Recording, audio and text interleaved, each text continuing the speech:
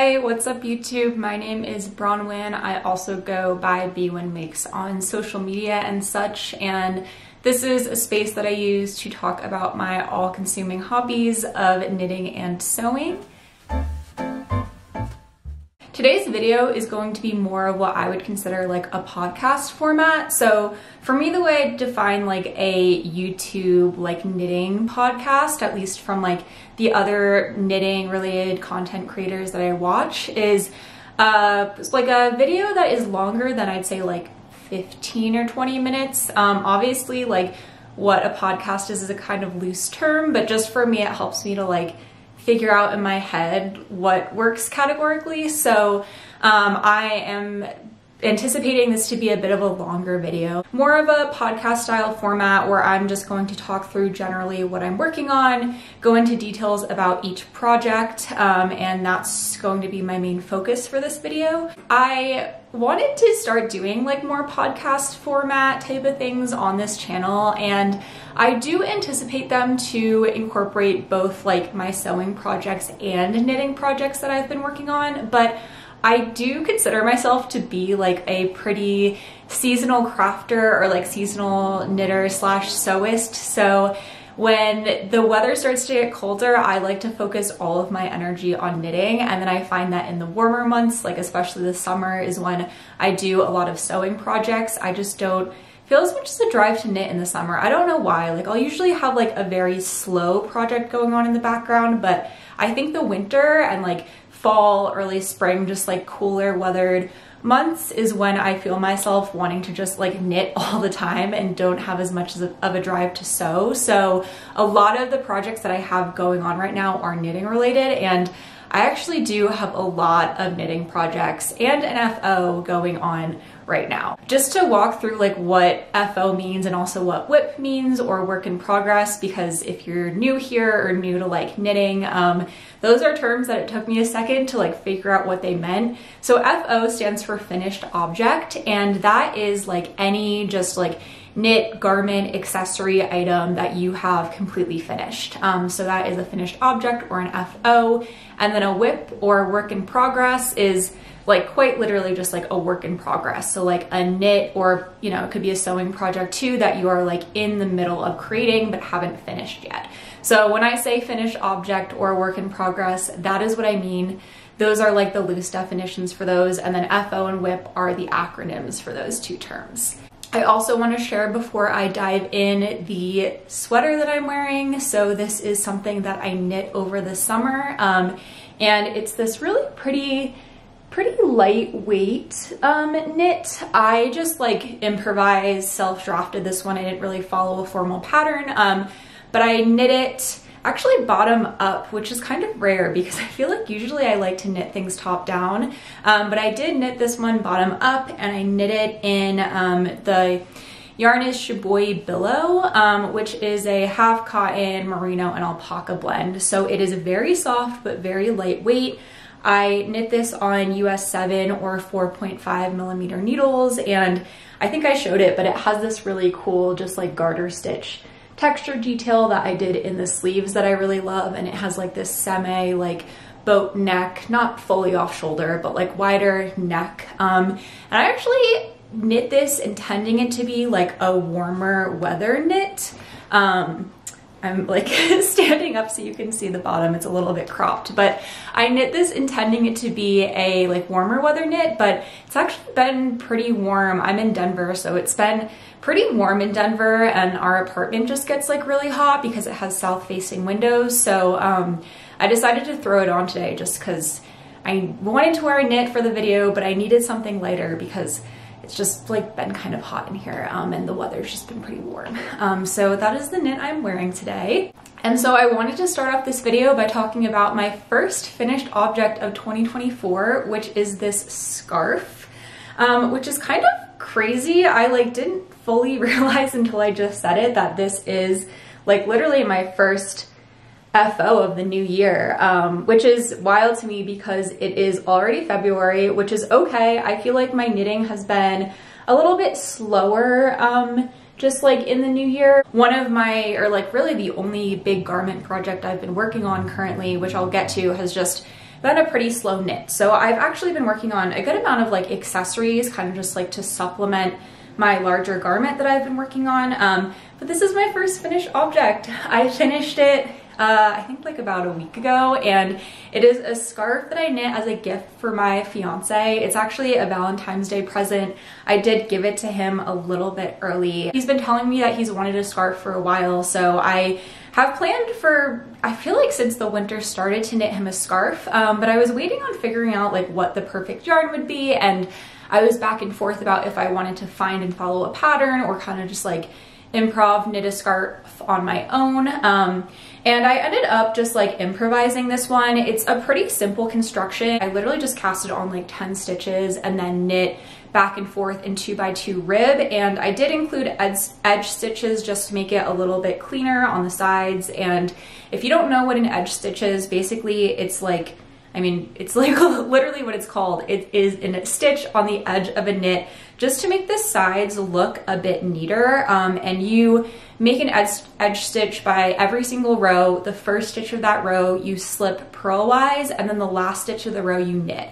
And no matter like what stitch texture you're working with, that is what you do every single row. First stitch, slip, last stitch knit um, to get just a cleaner edge on, you know, whatever project it is you're working on, especially if you don't plan on like picking up stitches or even if you do plan on picking up stitches, it helps as like a nice guideline. Um, and so that's what I did for this. And then I knit this in a Noro yarn. I think the yarn itself is Rikka. I think it's Noro Rikka yarn and it is a bulky weight yarn. Um, a single ball is 320 meters or 350 yards. So it actually was enough to make this full scarf that I think is a great length. It fits my fiance really well. I think it fits me really well too if I ever want to steal it.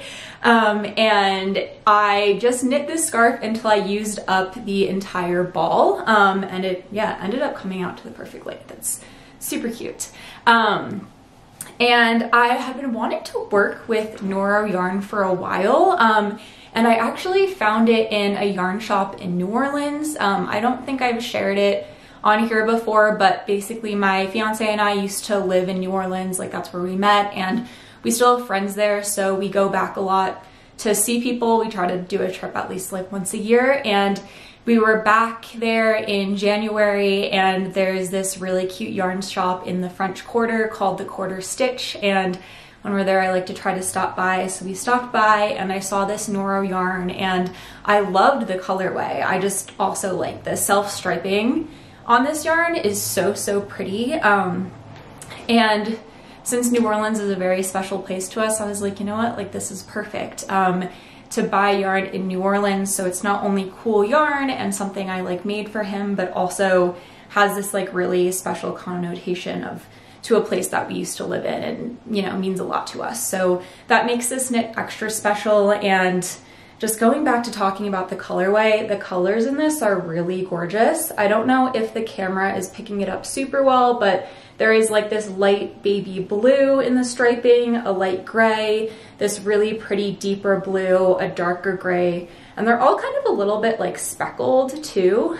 Um, and then there's these little bits of brown. I think this is like a pretty brown shade as well. Um, and it's just this really cool self-striping yarn. The Noro yarn is a bulky weight, so I did knit this on uh, 10.5 US or 6.5 millimeter needles, and um, it is single ply. So I will say a cool thing about single ply is a lot of times I find single ply yarn has a very interesting like schlubby texture to it. Um, I find that especially when it's like a bulky weight single ply, sometimes like each piece of the strand is a little bit of like a different um, like uh, weight or like um, texture width to it than like other parts of the strand. So it can make a knit look kind of uh, schlubby, which I like. It does, this scarf does have this like very funky texture to it. The one downside of single ply though is I do feel like it is more susceptible to pilling. Um, but because of that, I like to knit accessories with it. So I've knit like a hat with single ply yarn before. Um, I've knit a scarf with single ply and I've often found that when I knit accessories with single ply, they don't get the same wear as garments. So they're less susceptible to pilling. Um, I don't love knitting like garments like sweaters, cardigans, vests with single ply yarn just because I feel like the wear that like garments on your body can get like causes pilling to happen more but when you're wearing something like on your head or a scarf that you're you know not wearing like all day long and is like rubbing up on things and all of that um, they usually don't pill as much. So i'm not too stressed about like how this will wear. I just think because it's an accessory and not a garment um, it probably won't get as much pilling. Um, but i will update if like that ends up coming out differently than i anticipate. Um, but so far it's worn really well. My fiance's worn it a couple times and it's held up great. And the other nice thing about this being a scarf and in 2x2 rib is it's flat enough and pretty easy to depill if need be. But so far, um, there has been no pilling. Um, so that's been really nice. And this is just like a beautiful yarn. I think I forgot to mention this, but the Noro yarn, or like this type of Noro, the Rikka yarn, is made up of a blend of wool, alpaca, and silk. Um, and so that also drew me to this. I have a bit of skin sensitivity to like things that are 100% wool and I think my fiance does a little bit too. We just find that like 100% wool can be a little rough and itchy on the skin and I found that in the past when I've gone into yarn shops and I've seen Noro yarn, it's been very beautiful but what I've seen has been 100% wool. And so I've always shied away from buying it just because I know that my skin does not love like full wool fibers. Um, so when I saw that this yarn in the quarter stitch was also part alpaca and silk, which for me are like very, very soft, um, non, like I don't have a lot of sensitivity with them fibers.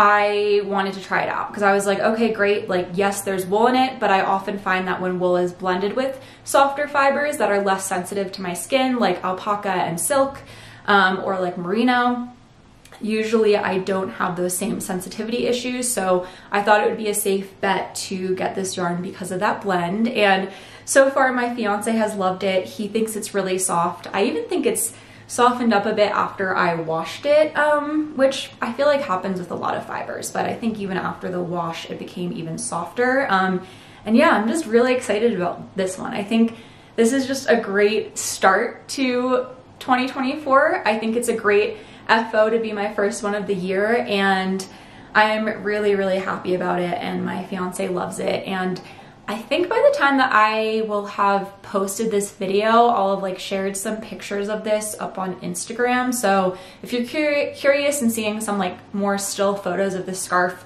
go check them out on like my Instagram page. They should be up here by the time that I have posted this to YouTube. So now I'm going to get into my work in progresses of the new year. Um, I actually have three WIPs right now, which is a little bit crazy for me. I feel like I'm usually a monogamous, monogamous, monogamous knitter. Um, although, I mean, I will say like if I am, I try to keep two projects going at a time, but one as like a little more of like an intricate project, like something that's like a lace or cable knit, and one that's a pretty easy stockinette that's like an accessory. Usually I don't have two full-on garments going at once. Like usually I'll have a garment and then a side accessory and those are like my two interchangeable projects. Um, but I have three right now, which is kind of crazy for me. but um, it also makes gives me a lot to talk about for this video. So my first WIP that I have to show is the this beanie.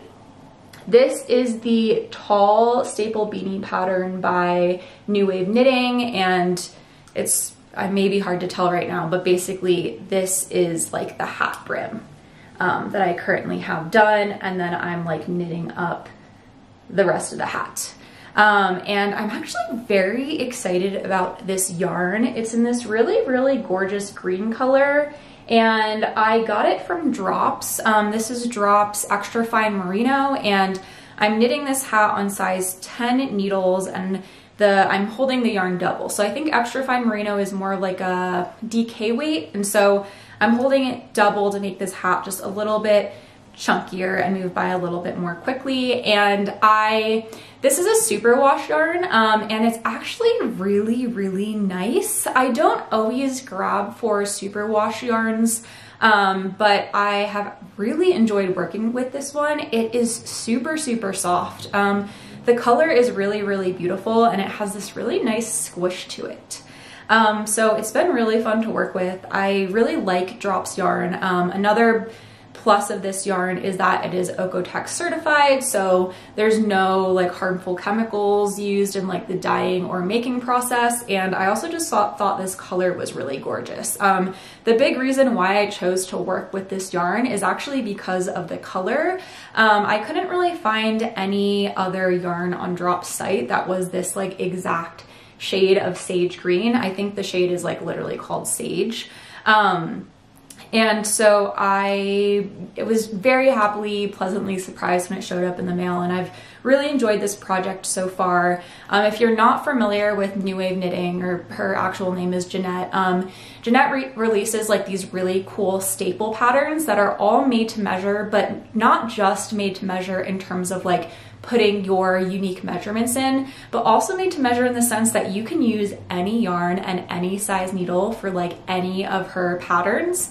Um, so this is like the tall staple beanie and basically what you do is you knit a gauge swatch and then you put your gauge swatch measurements into like her formula that she has in the pattern and you like do very easy math um, to figure out how many stitches you need to cast on based on your head circumference and then how many rows you need to knit based on like what your gauge is, um, which is super, super cool. It is a great way to stash bust. Um, it is a great way to be like, okay, I need, you know, a quicker project. I want to knit a project on like 10 or six millimeter needles, but I like don't want to deal with like going on the hunt to find the perfect project to match with that. So you can just be, look at her pattern and use, you know, whatever needle size, whatever yarn you want. And I just think it's a really cool, like awesome concept. Um, I actually tested this beanie last spring. So this is going to be my second one. Um, and it is a gift. I'm not going to get too much into that, but it is a gift, but this yarn is so pretty and so nice that I kind of want to buy some more to knit one for myself as well. Um, but this will be my second time working the tall steep staple beanie pattern and I highly recommend checking it out if you're looking for an easy, fun, relaxing hat project. Um, it's a really good one and it's super cute too.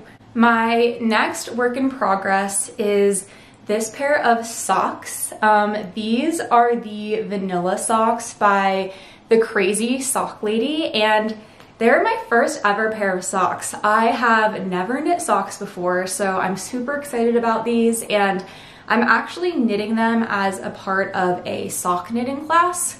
Um, so because I just like never knit socks before, I found out that my local yarn store was doing a sock class and actually for Christmas my mom gifted me like taking the class for like this next month. I have really enjoyed the class actually just because I felt a little bit intimidated by socks so I like wanted to be able to knit them for the first time like with other people or with an instructor as like kind of guidance and these socks are also knit with a gusset, which I was a little intimidated by and I haven't gotten to yet. That's like my next step of these. Um, so I am like feeling extra grateful too that I'll have someone to ask questions if I feel like I'm like struggling with the gusset construction at all.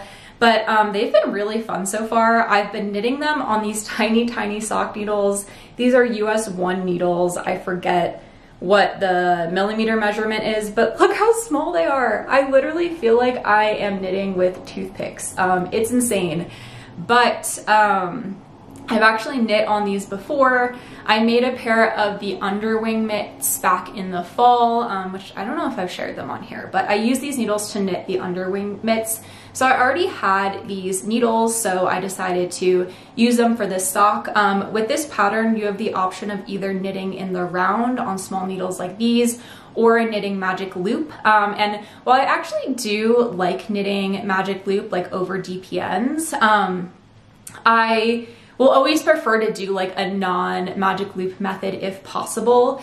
Um, and I think the only big difference of knitting with like magic loop versus knitting with like these needles is that um, with magic loop, you really don't have to worry about like slipping these top body stitches as you're working on the heel, but because I'm knitting in the round on these, I think I'm going to, in the next steps of this pattern, have to slip these bottom stitches as a part of like the top of the foot onto a piece of like scrap yarn or like a, you know, loose cord or something um, to hold them while I work on the rest of the heel. So I think that's the only big difference. Uh, the only other thing I can think of is I knit continental and I have found that it is a bit more difficult to knit continental on these tiny needles. Um, I just find my hand cramps up quite a bit and I find myself knitting more like English or even like throwing style on these. Um, it's definitely not like the cleanest continental knit. Um, and part of me wonders if I was knitting magic loop instead, if like those longer needles would make it like easier to hold while I'm knitting. So maybe if I knit my next sock, I'll try magic loop, but I, I don't know. So far I'm like liking it on these little needles in the round. It's been really fun. I totally get why sock knitting can be addicting. Um, I've been having a really, uh, like just like a lot of fun with these and I'm actually very excited to dive into hopefully a couple more pairs of socks this year and also just getting more invested in like the sock yarns and colorways that are out there. I don't know, I feel like there's a lot of really cool, especially like indie dyed sock yarns that I'm kind of excited to explore. These socks I am knitting in Bear Paw sock yarn from the Farmer's Daughter Fibers and this yarn is I think it's 70% superwash merino, 20% yak, and 10% nylon. Um, and it's in this really gorgeous colorway called the Sapphire Empress. I don't know if the camera is picking it up super well, but there is like a slight variegation in the yarn because it is hand dyed and it just looks like really, really pretty, um, super, super gorgeous. So I think also just the slight variegation has made these really fun to knit up as well because I keep going wanting to see like how it'll turn out in terms of like the colors. Um, so I've really been enjoying this. The yak in this yarn, I will say, is not super washed, so I'll probably have to hand wash these, but they're really soft and really luxurious, and I can't wait to like knit the second one and be able to wear my first pair of socks. It's super exciting. So I've really been enjoying this project so far. Um, I actually, I need to like keep going on these because I think for our next class, I'm supposed to be up to the toe section. And I think I can, I have like a week to go. So I just need to finish the heel, do like the foot part and then get to the toes. And I think I have time for that. So um, I need to get a move on that like this weekend. Okay, and then my final work in progress at the moment is the Haraboji cardigan by Aegyo Knit. And this knit I started right around Christmas time. So I have been working on this for two months now. Um, it has been definitely a labor of love, um, a very slow and steady project, but I have really, really enjoyed it. This sweater, or it's a cardigan, this cardigan is knit on uh, 4.5 millimeter or US 7 needles. So because of that, it is pretty slow moving, um, but not just because of the needle size, also because it has this very intricate cable pattern, which is a part of the entire thing. So you have these mock cross cables on it, and then you also have this bigger cable going down like the whole middle of the cardigan. And so because of that, this has been very slow moving, um, but I've actually really, really enjoyed the process. I've talked about this sweater in a couple of my other videos, but I just find cables to be very mentally stimulating. So it's been a really nice kind of just like more of, I guess, a brainy knit because a little bit more thought has to go into it. And I have finally finished the body. So both the sleeves, the whole body is done, and all I have left is to do the ribbing. So I just have to do like the bottom ribbing, the ribbon on the side with the button bands and the ribbing around the collar, which honestly, after doing all these cables, seems like it'll be such an easy and quick feat. Um, I'll probably get it done maybe in the next week, fingers crossed if I can find the time. Um, and then I'll be finished and this will be my first finished garment of 2024, which is very exciting. I knit this sweater in Knit Crate Yarn, which is a company that is no longer in business, um, but this yarn is made up of merino, alpaca, and suri alpaca, so it is very soft, very warm, and it also has a little bit of like a kind of like fuzz. I wouldn't say it's a full halo, but just a little bit of fluff to it. I don't know if the camera is really picking it up, but it has like this little bit of fuzziness that I think fills out the cables really nicely and I'm just so excited to wear this. I know it's gonna be so comfy and warm and the cables give it this really nice squish. When I officially finish my Haraboji cardigan, I am planning to film like a whole video just talking about how the entire process was for me. Um, because I don't know, personally, I was a little bit intimidated by this pattern and it is kind of newly released. I think it was released like end of November. Um, so I feel like there are not a ton of resources out there about it yet.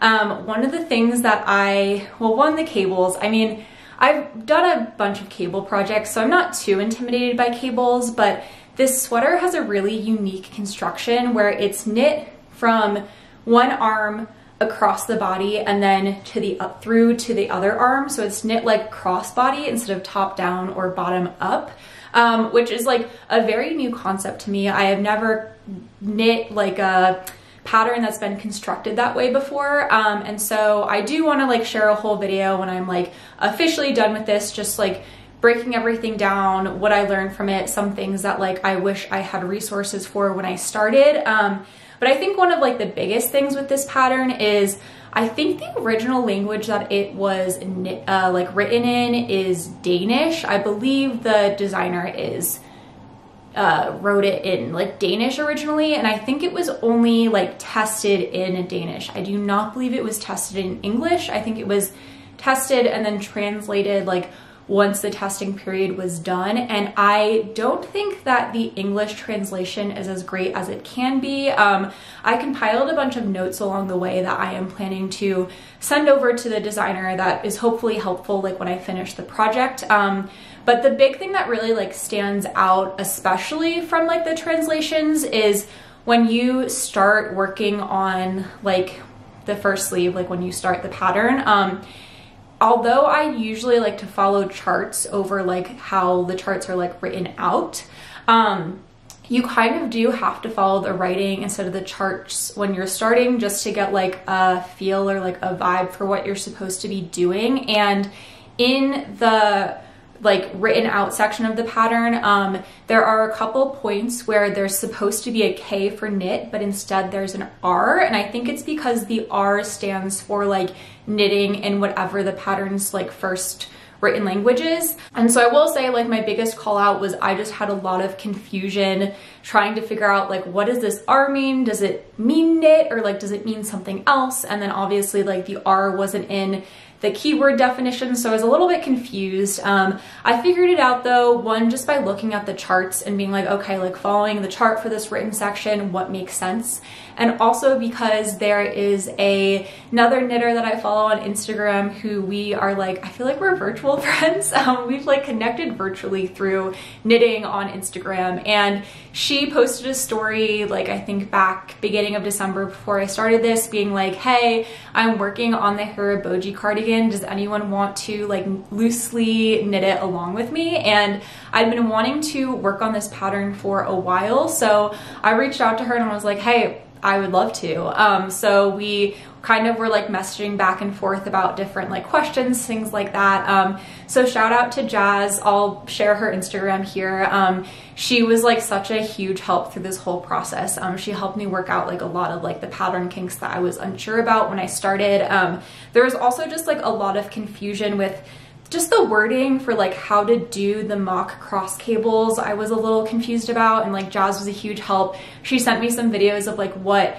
she was using or like thinking of when doing those and when I do like a whole video breakdown I kind of want to like walk through just how I did those crisscross cross cables because that was like the other thing that really stands out to me as like a big kind of confusion in this pattern. So that was just really nice to have someone to knit this along with and, you know, go back and forth with each other about like our triumphs and our trials and all of that. Um, so that also just made this experience very fun and enjoyable. And then the last part of this cardigan that's been just very cool about this knit is I think I talked about this in like my first ever video that I shared on here beginning of January. Um, I think it's my video titled like my first ever video, my knitting and sewing 2024 project plans. Um, and I talked a bit about these very funky antler buttons that I actually got at the Rhinebeck Sheep and Wool Festival in uh, Hudson Valley, New York back in the fall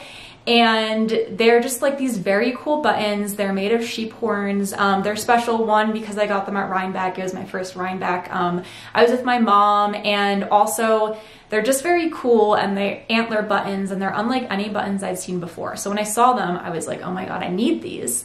Um, but an issue that I encountered is that the pack of buttons that I got only came with four buttons and the business name and the website that's attached to the buttons is called like Cornerstone Fiber Biz and I looked up the website, the website does not work. I searched far and wide on the internet, on Etsy, on Instagram, trying to find this company to get another button, could not find them anywhere.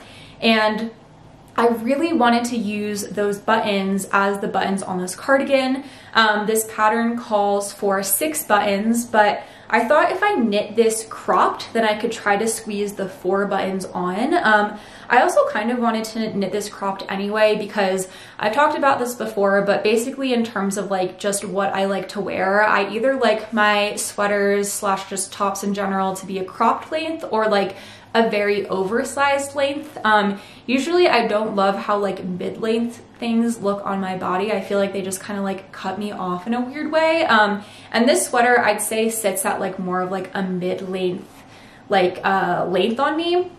So I knew I wanted to crop this. Um, just because to try to squeeze those four buttons and also just because that's the length I knew I would prefer a bit more. And I did succeed at cropping this. I was a little nervous about how I would go about doing that, but it actually went a lot more easier than I anticipated. Basically, instead of casting on the full number of stitches that the pattern calls for, I did five and then five, um, which chopped down the length quite a bit, um, but I think that it's going to end up looking really good. I think there's supposed to be like five centimeters of ribbing added to the bottom, and then also I think once this is blocked, it's going to end up being the perfect length. Um, my guesstimate is like 17 or 18 inches, which is like a great cropped length for me. I feel like anything between like 16 to I'd say 18 inches for me is like a really nice cropped like fit on my body. So I am really pleased about how I was able to crop this, but when I was working with those buttons, sort of trying to place them on the sweater once I had finished the body, um, trying to see how it would fit once the ribbing is added in, I came to the conclusion that my four buttons were not going to be enough. And while I don't think, or like I don't even like think, it's I definitely know I do not need six buttons, I do feel like I will need a fifth button. So I searched far and wide trying to find a antler button that matched the ones I already had from like a different business and I went on Etsy and I was able to find an Etsy shop that sells antler buttons that look exactly like the ones that I have. So I reached out to the seller and I sent her a photo of my buttons and I was like, hey, here's my dilemma. I really need a fifth button. Um, the buttons that I have are a little bit mismatched and one of them is like significantly shorter than the other three. So I thought it would be kind of cute if the fifth button I got matched like that shorter button of the four that I have. So then like it kind of has this uniform, but like not uniform because it's mismatched look to it. Um, so I sent her the picture of all the buttons. I sent her the measurements of the shorter buttons and I was like, let me know like what size I should be choosing in your shop and I will buy a button from you. Can you match them up? And she was so nice. She went above and beyond with this whole button dilemma and she said, hey, here is my address mail me the buttons that you have and I am going to compare your buttons to my buttons so I can choose one of my buttons that is like the perfect fit so that all of your buttons look unified in terms of like color. Um, the other really kind thing she's doing is she noticed that the holes drilled in my buttons, like where the thread would go through to attach them, are a lot wider than she usually drills the holes in her buttons. So the button that she's going to send to me as the fifth, she is going to drill the holes so it matches up with the drilled hole distance in the buttons I sent her. And then the last thing she's doing is she is shaving down the edges of the buttons that I sent her so they're like a little bit more cleaner, probably have less of a chance of getting caught on like yarn when I'm wearing it. And I am just like so excited about this interaction. Shout out Cheryl. Her Etsy shop is called The Woodsman's Wife and it's just like, I don't know, it's some very wholesome, I feel like, internet crafting connection. Um, I, you know, she just went above and beyond and I'm so happy and just blown away by the interaction um, and very excited to receive my buttons back and be able to put them on this knit. I think that little story is also just going to make this project even more special. Um, and yeah, it's just been such a wholesome crafting internet stranger situation. um, so I'm like very excited about that and very like heartwarmed by the whole experience. So I especially cannot wait to finish this knit. I'm so close to being done and that should be the end of the button saga. Obviously when I get them returned to me and I finish this, I will show you all what the buttons look like and how it ends up, but I think it's gonna be a very positive ending and I'm just very, very thrilled about the whole thing. So those are all of my knitting projects that I currently have going on. Um, if you listened and watched through this whole thing, thank you so much. I really appreciate you being here. I hope this was enjoyable. I hope you learned something. Um, or if you didn't learn something, at least just like had a fun time watching this. Um, if there are any projects that like you are currently working on, please share them with me in the comments. I always love to hear what other people are, you know, working on. Um, and, you know, that allows me to discover new patterns and what else is out there and things like that. Thank you so much for watching. Like, comment, subscribe. Feel free to follow me on Instagram and I hope you all have a lovely rest of your week and I will see you next Thursday. Bye.